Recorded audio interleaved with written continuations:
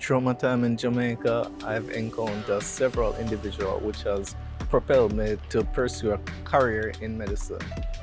These experiences provoked me to not only develop a sense of care, but also enabled me to analyze, diagnose, and treat an illness.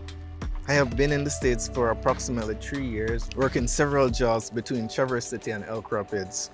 After further research and learning about the PA program, I became more and more intrigued. Pre-PA students take a prescribed sequence of courses that prepare them for PA school, which is usually two to three years. It is very challenging, nevertheless. However, as there's a saying in Jamaica, if you want better, you know. You know? Here at the Traverse City Regional Center, uh, we are able to do hybrid learning and it has not only give us an idea of healthcare, but also an idea how to interact with various patients. Grand Valley State University has allowed me to be able to not only pursue my career, but being able to play my role as an employee, a husband, a father, while still being able to enrich my community. One world, one people, one love.